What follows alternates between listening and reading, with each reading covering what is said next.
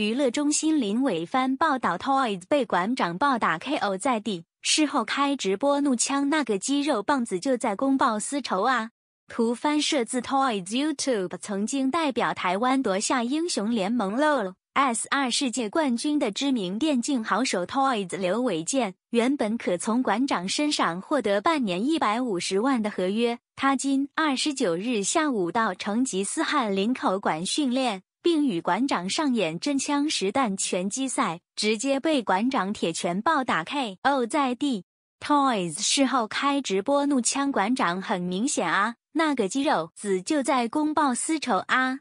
对此，馆长助理小雨随后应来，馆长说不签 Toys 了，不知尊师重道。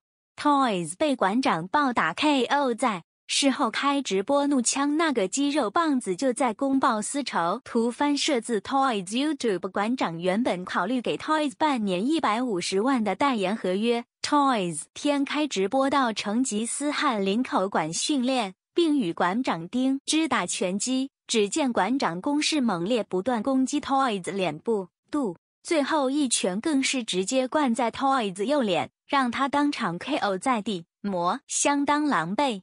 该段直播在下午上班时间线上最高二点六人抢看，相当惊人。不过，Toys 与馆长打完拳后，立刻心不甘在车内开直播干瞧馆长。很明显啊，那个鸡棒子就在公报私仇啊，你看不出来吗？左一拳，右拳，正一拳，下一拳，你 X 的 X 吧。Toys 的经纪人则在一旁笑，就练习呀。刚刚说要叫馆长师傅，现在就是肌肉子，不然就死胖子，有没有礼貌啊？Toys 最后被打到站稳，馆长接着马上一拳灌在他右脸，当场 KO 在地。